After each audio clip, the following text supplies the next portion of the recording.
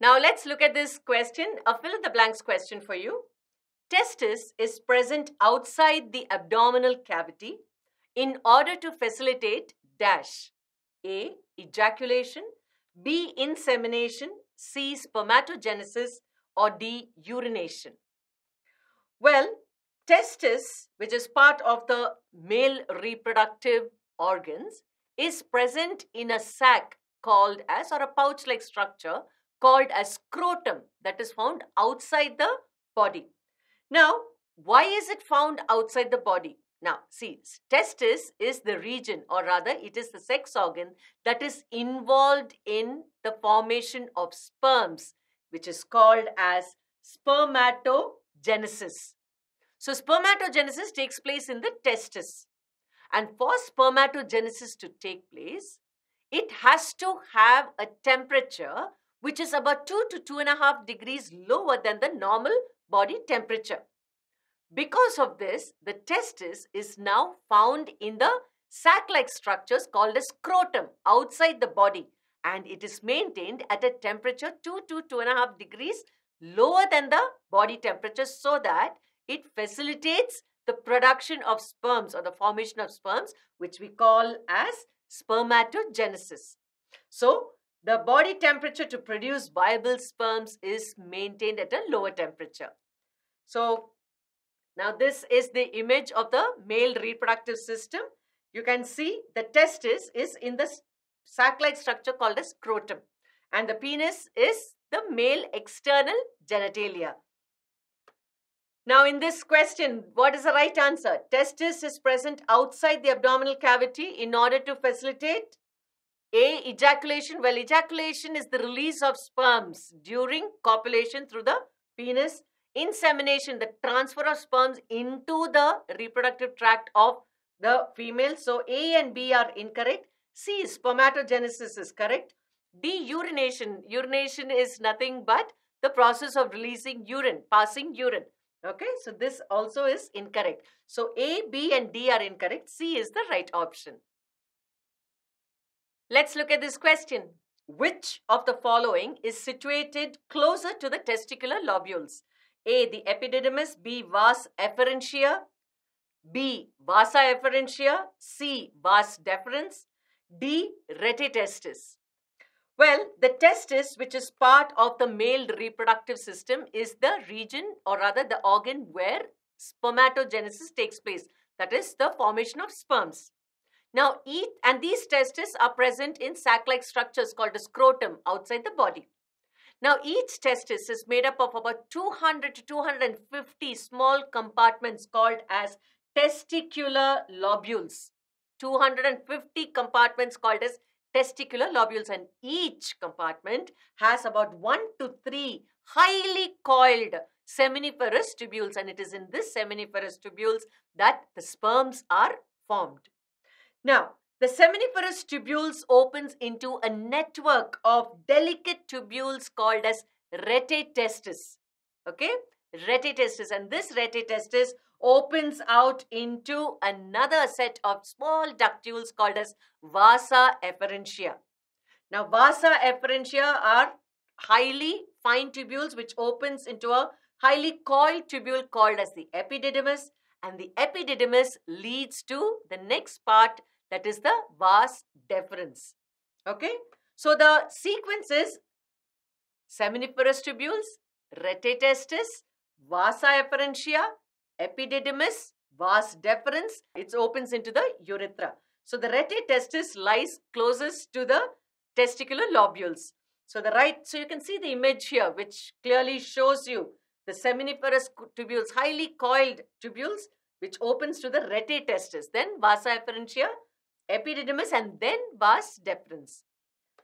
So the right answer for this question, which of the following is situated closer to the testicular lobules? It is not epididymis, not vasa efferentia, not vas deferens.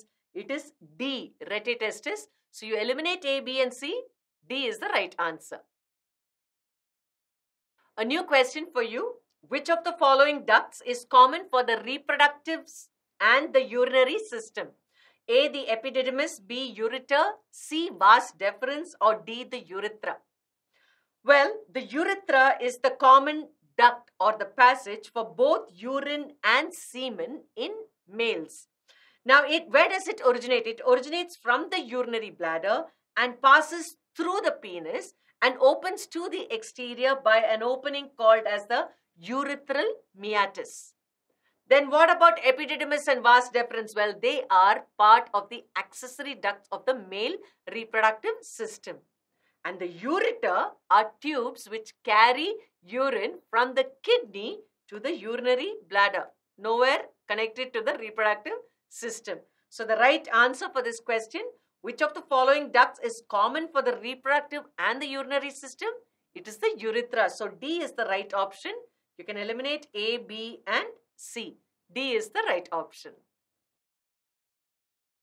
A new question for you. Select the incorrect statement regarding testis. A. Testis is endocrine in nature. B.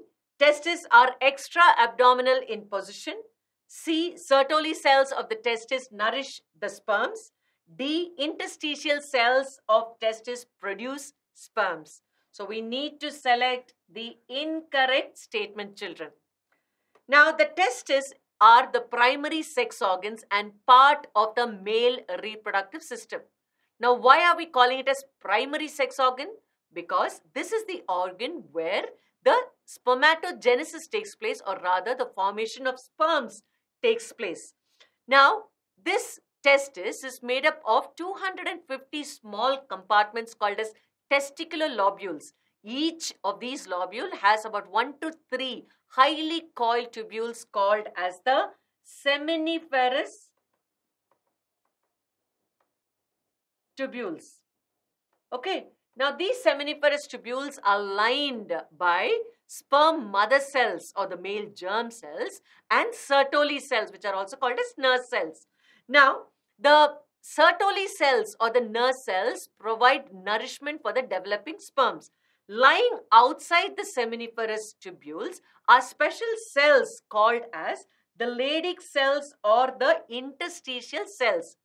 They produce androgens, the sex hormones, such as the testosterone, which plays a major role in spermatogenesis and also in the development of the secondary sexual characteristics in males. So then I can say that testis is endocrine in nature as well. Now, the testes are found outside the body. Where is it found? It's found in pouch-like structures called as scrotum. Why do you think it is found outside? Well, spermatogenesis or the formation of sperms can take place only when the temperature is maintained about 2 to 2.5 degrees lower than the body temperature. Because of which, by nature, the testis is present in these sac-like structures called as scrotum. Okay, and the sperms produced by the spermatogonia or the male germ cells, like I told you, are nourished by the Sertoli cells, also called as the nurse cells. Let me just show you a cross section of the seminiferous tubules. Can you see the Leydig cells that are found outside the seminiferous tubules? Okay, so the incorrect statement, select the incorrect statement regarding the testis. For this question, what is your answer? D is your answer because this is incorrect. Interstitial cells of testes produce sperms. No.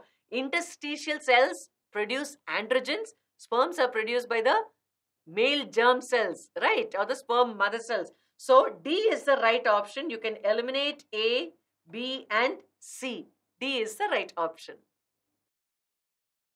A new question for you. Which of the following is not a secondary sexual character in males? A. Enlarged larynx and deeper voice. B. Development of facial hair. C. High pitched voice. Or D. Enlarged penis. Well, on attaining puberty. Now, what is puberty? Where there are changes, you know, that a boy or a girl they undergo when they re reach sexual maturity certain changes occurs in the body of both male and female, separate changes. Okay, so the boy's body starts showing secondary sexual characters. What are these secondary sexual characters? The deepening of the voice, low pitch voice, right? Enlargement of the larynx. Adam's apple is prominent in males, right? The facial and pubic hair growth, beard, acne come, something similar to pimples, underarm hair, pubic hair, right? The widening, the broadening of the chest, body becoming more muscular, aggressiveness. Higher levels of testosterone is associated with low pitched voice in males. The penis also gets enlarged while when they attain puberty. In girls, some of the secondary sexual characteristics are the pubic hair growth, armpit hair growth, then you're looking at development of breasts, enlargement of the uterus, round body shape, high pitched voice. Okay, these are all some of the secondary sexual characters that you find in females. Let me just show you a summary.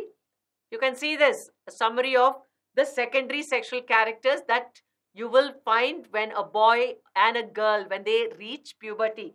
Okay, these are the secondary sexual characters. Most of them are listed here. So the right answer for this question, which of the following is not a secondary sexual character in males, is the high-pitched voice. That is with the female. So C is not a secondary sexual character in males. So that is the right option.